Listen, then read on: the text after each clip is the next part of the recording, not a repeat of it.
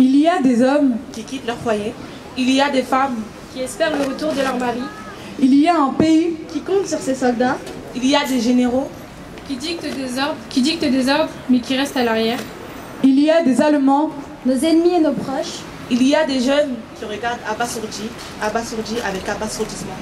il y a des femmes, qui prennent la place des hommes dans les champs, Il y a toute une tranchée transformée en boucherie. Il y a des soldats tombés morts à l'endroit où nous écoutons. Il y a cette sensation de dégoût, de tristesse. Il y a cette camaraderie perceptible. Il y a moi, à qui les morts de la guerre me rappellent celle de ma mère. Il y a nous, les jeunes d'aujourd'hui pour qui cette guerre est effarante, il y a ce beauté et cette, cette beauté et ce calme. Là où ce n'était que ruine, chaos et désolation, il y a Ypres et la porte de Menin. qui rappelle la cruauté de la guerre. Il y a ce sentiment d'impuissance et de peine. au moment où nous pénétrons dans les cimetières, Il y a cette route si belle et reposante. qui n'était autrefois que trou d'obus et gravats, Il y a la vie, là où régnait la mort il y a cent ans, Il y a cette période de l'histoire. que jamais nous n'oublierons. Il y a cette douleur ancrée dans le cœur des hommes, Il y a toutes ces tombes. qui rend hommage à ces hommes courageux. Il y a des champs de bataille. Il y a des hommes dans les tranchées. Qui regardent un horizon vide des paysages de leurs souvenirs passés, Il y a les rats. ils arpentent les rues, se régalent de toute la saleté environnante, de tous ces corps qui feront leur festin. Il y a ces enfants. qui appellent en vain leur père, partis à la guerre, partis à la mort, partis pour toujours. Il y a ces troupes allemandes.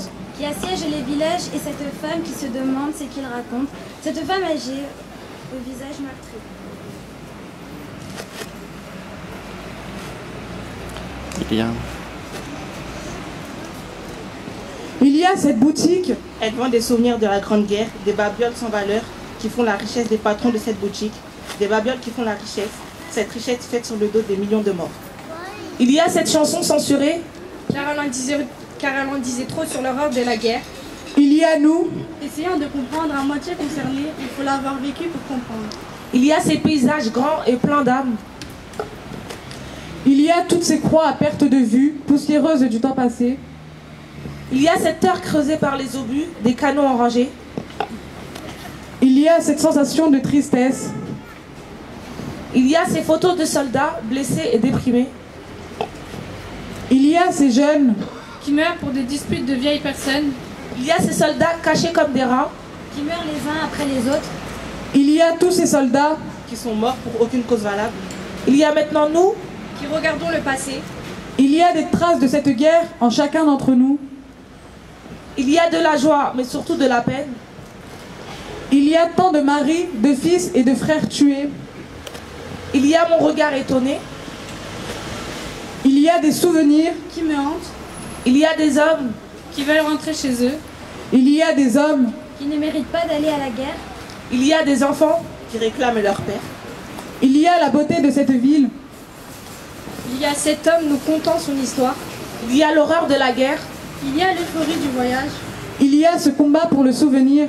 il y a cet arc-en-ciel, Il y a tous ces noms gravés sur un mur. il y a le plaisir de cette aventure, Il y a toutes ces armes destructrices. Il y a cette sieste sous le soleil. Il y a toutes ces croix blanches à l'horizon. il y a cette liberté tous les soirs avec les copains, Il y a ces tranchées sous la pluie. il y a ces trois jours gravés à jamais, Il y a les pleurs, les rires qui ne seront jamais oubliés.